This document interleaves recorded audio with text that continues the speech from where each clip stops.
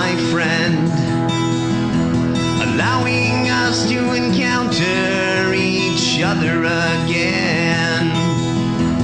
Conversations of kingdoms we will remain.